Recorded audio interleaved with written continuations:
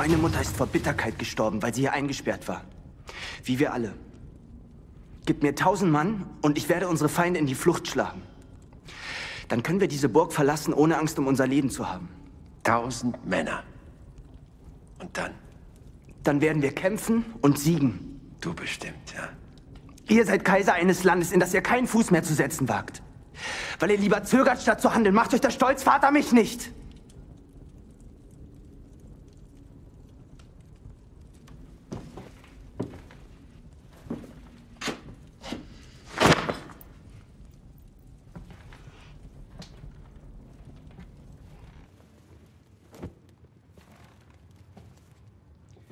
Wie geht es meiner Schwester?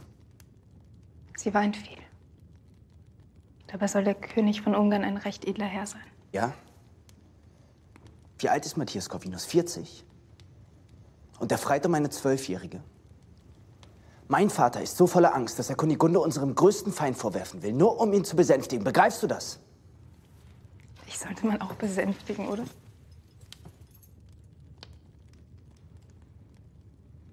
Nur du wusstest, wo ich auf der Jagd bin. Daher weht der Wind. Ja. Ja, nur ich. Und Polheim. Und der Leibdiener und jene, denen Sie davon erzählt haben. Warum sollte ich dich verraten? Weil du mich niemals kriegen wirst. Ich werde immer oben sein und du unten. Weil du mich nicht kriegen kannst. Weil ich von so niederem Stand für dich bin. Deswegen musst du dich heimlich mit mir treffen. Nachts, wenn alle schlafen, dann steigst du zu mir herab. Voller Sehnsucht nach Wärme. Weil es oben so einsam ist. Ich kann viele haben. Bei Tageslicht. Du nur sehr wenige, Maximilian von Österreich, weil er kaum eine gut genug für dich ist. Also gewöhn dich besser an die Dunkelheit.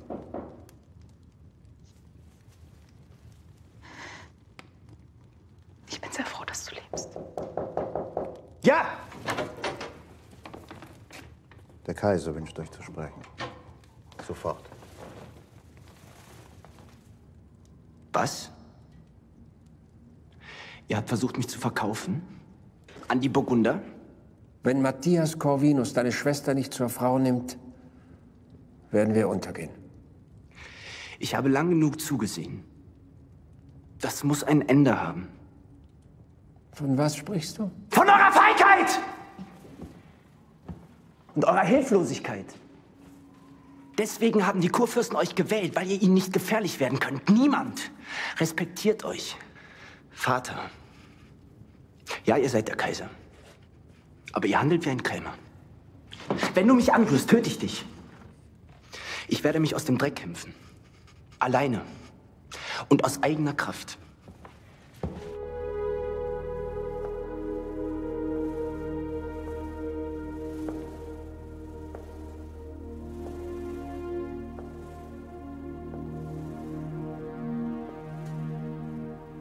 Normalerweise bleibt der Mann dort, wo er her ist.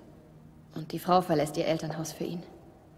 Oder er kommt zu ihr und nimmt sie mit in seine Heimat. Nur ein Märchen ist das so. Das stimmt. Ich fürchte auch. Ich kann euch nicht mal eine Mitgift bieten. Denkt ihr dabei an Hausrat und Bettwäsche? Sogar meine Kleidung ist geborgt. Wir finden sicher etwas für euch. Ihr seid in der Hauptstadt des Tuchhandels. Ihr seid sehr großzügig. Nein. Ihr werdet natürlich alles abarbeiten. Und wie? Wir werden sehen. Jetzt ruht euch erstmal aus. Morgen führe ich euch dann in eure Pflichten ein.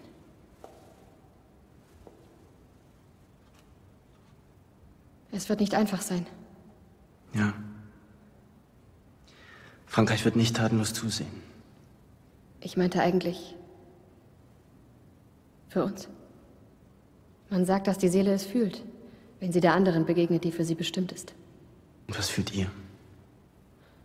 Ich weiß nicht.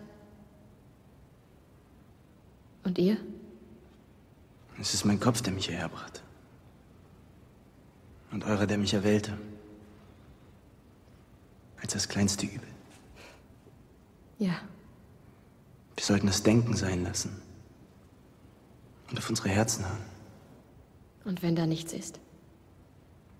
Glaubt ihr das? Nein.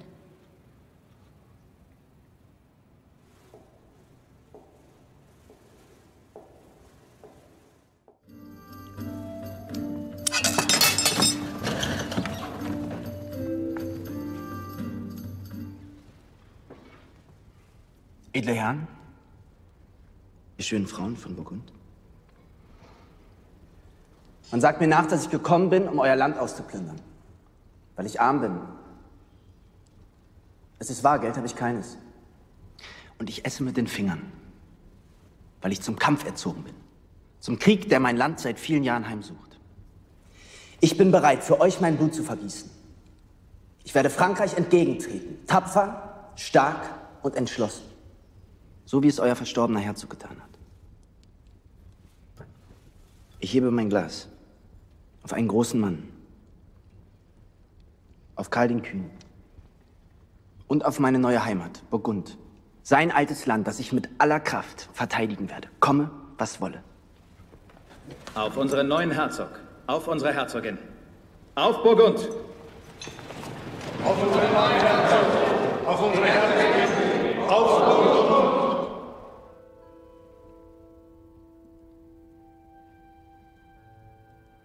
Ich kenne euch nicht. Und ihr kennt mich nicht. Denkt, ich habe keine Angst. Doch. Ich hoffe, ihr seid der Aufgabe gewachsen. Ich werde die Welt verändern. Sogar die Bürger von Köln konnten euch festhalten. Ihr wart machtlos gegen sie. Ich weiß. Es wird nicht leicht. Und ich brauche eure Hilfe. Und euer Geld. Für nichts als heiße Luft? Charmant. Maximilian von Österreich, hört gut zu. Herzogin von Burgund bin ich. Ihr seid mein Mann. Und aus dem Recht der Ehefrau Herzog von Burgund. De jure uxoris. Hinter mir. Tut, was nötig ist. Nicht mehr.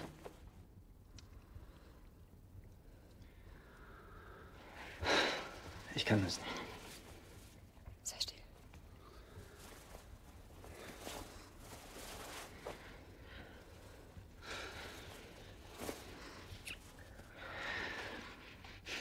Das wird so nicht gehen.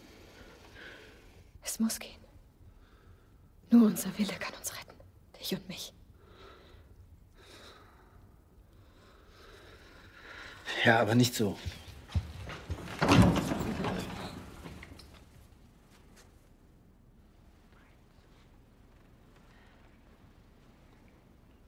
Wenn ihr genug gesehen habt, geht.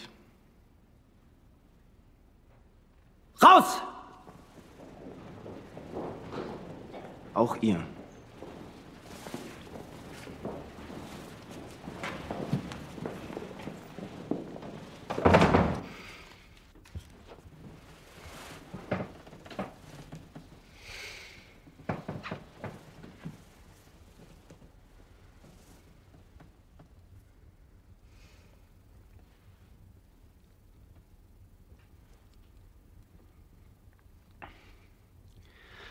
Ich habe keine Ahnung. Ja, das merke ich. wie man regiert.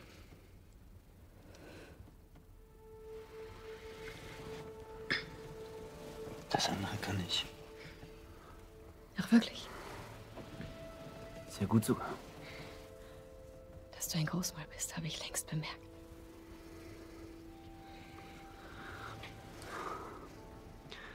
Was kosten 10.000 Söldner? Drei Regimenter, 35.000 pro Regiment, 105.000 Gulden im Monat. Da ist die gesamte Ausrüstung dabei. Und wenn ich für die Ausrüstung sorge, Die Hälfte. streckt es mir vor. Das und noch viel mehr, alles, was ihr mir geben könnt. Für den Krieg gegen Frankreich, nicht gegen die Ungarn. Euer Vater schuldet mir Geld. Nun wollt ihr auch noch Schulden machen. Ohne Sicherheiten wird das schwer.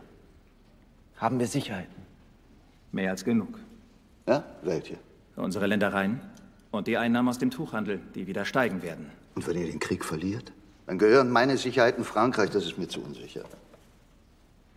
Ich verpfände euch ganz Österreich. Die Silberminen und wenn es sein muss, die Ernte. Der Kaiser wird das nicht zulassen. Ja. Der Vertrag wird erst gültig sein, wenn ich Kaiser bin. Aber ich brauche das Geld jetzt. Es ist ein Vorschuss auf die Zukunft, die eure und die meine.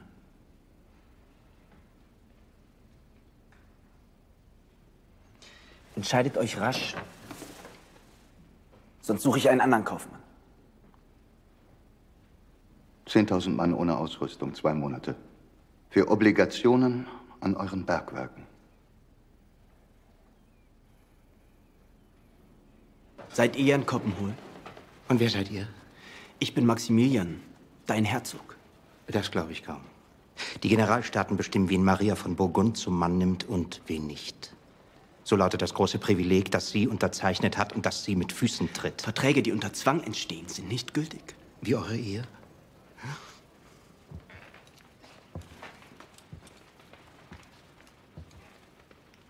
Bist du wirklich so mutig?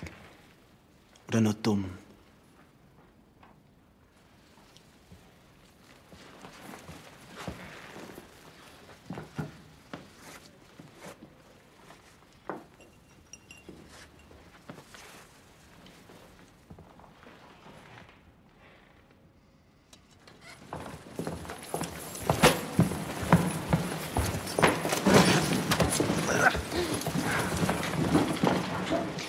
Glaube, ich muss mit euch in eurer Sprache sprechen.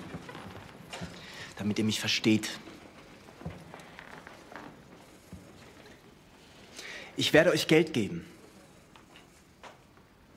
Ich verfüge, dass 15.000 Männer mit Kleidung, guten Schuhen und Mänteln ausgestattet werden.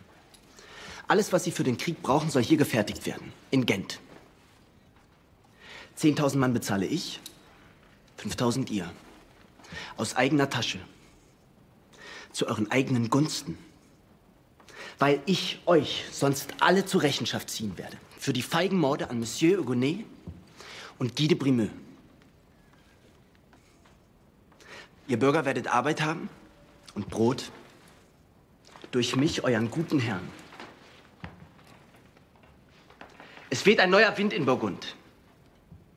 Ihr könnt wählen, ob er warm ist oder schneidend kalt.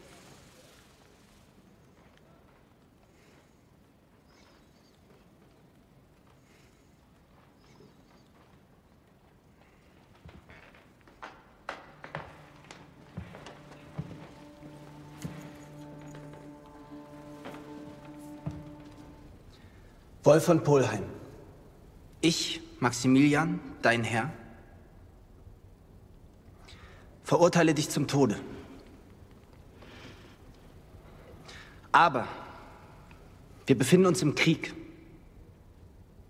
Deswegen verfüge ich, dass du dem verlorenen Haufen angehören wirst. Du sollst vor allen anderen die Franzosen angreifen. Mit nichts als dem Schwert in der Hand und dem Mut der Verzweiflung. Mögest du viele erschlagen, bevor du selbst ein sicheres Ende findest. Ein weises Urteil. Johanna von Hallewing, ich verstoße dich von meinem Hof und gebe dich zurück in die Obhut deines Mannes. Nein, das kannst du nicht machen. Doch. Schafft ihn raus.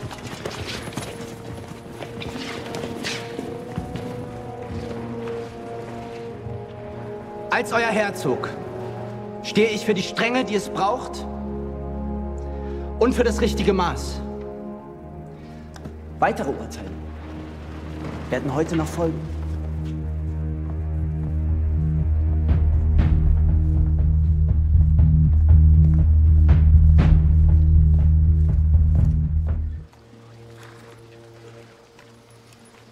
Burgunder!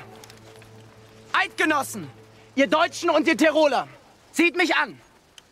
Ich bin einer von euch, ein Mann, der zu Fuß kämpft.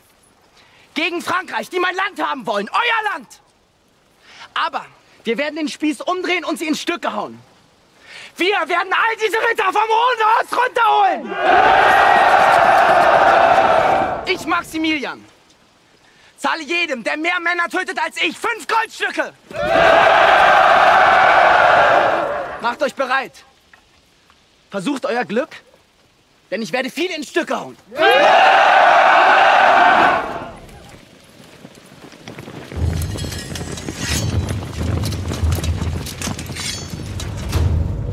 Ich war schon einmal hier. Im Traum.